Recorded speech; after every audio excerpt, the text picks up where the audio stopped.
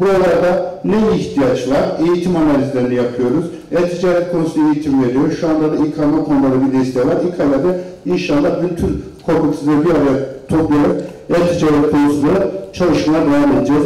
Kooperatiflerimizle yaptığımız çalışmalarımız e, gerçekten Cumhurbaşkanımızla Gaziantep ziyaret ettiğinde kadın kooperatiflerimiz ürettiği ürünleri bunlara ikram ederken de Cumhurbaşkanımız da konuşmasında bunun e, takdire şayan bir çalışma olduğunda izah etmişti.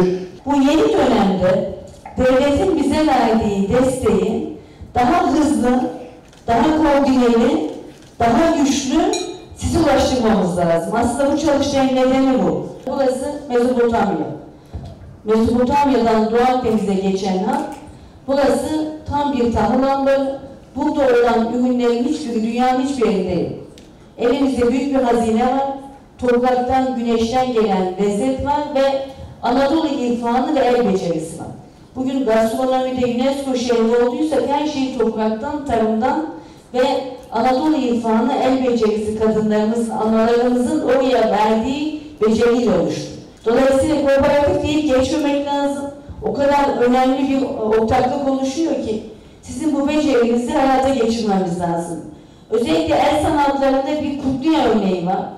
Jüde Konukoğlu'nun folklorik bir kıyafetten bugün bir dünya markasına nasıl dönüşebildiğini, Kutluya'nın kendine ait ARGE çalışması ve daha da mühimi tanıtımıyla nasıl markalaşabildiğini de gördük. Dolayısıyla bizim ihtiyacımız olan şey markalaşmanız. Neden sizin ürününüzü alsın? Markalaşmanız, tasarım, tasarımdan bahseden e, arkadaşlarımız oldu ve daha da mühimi bunun satışını yapacak tanıtım.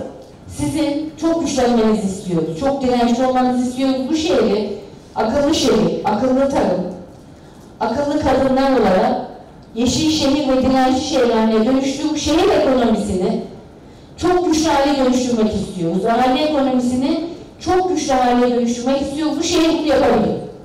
Ailelerimizin güçlü bir şekilde yoluna devam etmesi, aile ekonominin güçlenerek devam etmesi, annenin, babanın, çocuğun huzurlu ve mutlu bir şekilde aile hayatının devam etmesi için kooperatifçiliğin güçlenmesi konusunda yapılması gereken her şeyde ben ve arkadaşlarım sizin emrinizde olduğumuzu ifade ediyor. Hepiniz hürmet ve saygılarımı sunuyor. Hoş geldiniz, sefalar getirdiniz. İyi temiz adil gıda herkes için. Bu Slow Food'un sloganı. İyi temiz adil. Slow Food herkes için iyi temiz adil gıdanın ulaşılabilir olmasını ister. Neden? Çünkü hepimiz yediğimiz yemeğe iyi ne demek? Yaptığınız reçelin tadına bakıyorsunuz. O reçel gerçekten meyve tadı veriyorsa o iyidir. Agroekolojik yöntemlerden bir tanesi planlı otlatma, onarıcı tarım. Tabii biz tarım yaparken aynı zamanda toprağı da e, onarmayı hedefliyoruz. Topraktaki organik madde oranını arttırmaya çalışıyoruz. Bu e, şeydeki, bizim Urfa'daki bir meradan görüntü e, 2018 yılına ait. Biz burada planlı otlatmaya başlamadan önce ki duruş şu şekildeydi.